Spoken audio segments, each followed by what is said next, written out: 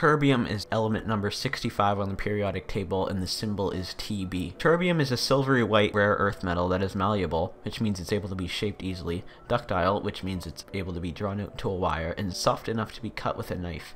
Terbium's name comes from the place where it was founded, in Ytterby, Sweden, by Carl Gustaf Mosander in 1843. He detected it as an impurity in yttrium oxide. It was not isolated in pure form until the advent of ion exchange techniques. The ninth element in the lanthanides group, located in period 6, group 12.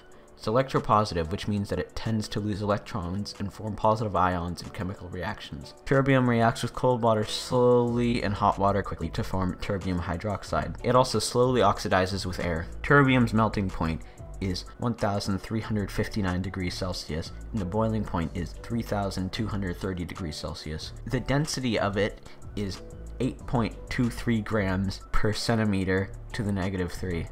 Terbium has the atomic mass of 158.925 and its key isotopes are 159 Tb.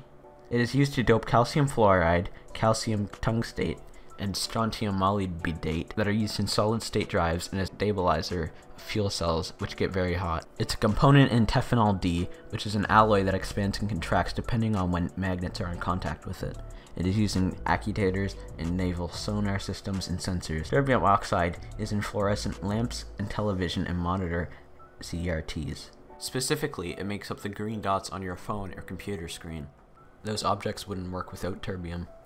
Terbium combines with nitrogen, carbon, sulfur, phosphorus, boron, selenium, silicon, and arsenic at elevated temperatures.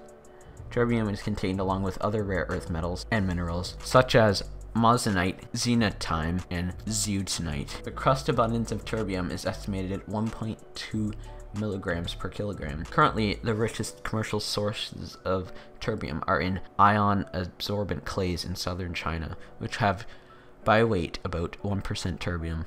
In 2018, a rich terbium supply was discovered off the coast of Japan's islands, with the stated supply being enough to meet the global demand for 420 years.